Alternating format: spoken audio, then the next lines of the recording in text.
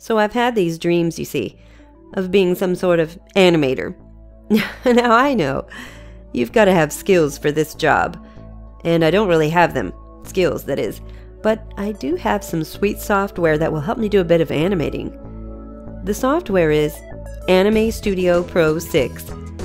Now, if you've ever heard of this application, you already know it can help you make some pretty neat stuff. So far, I've not had much time to work with it, it's true.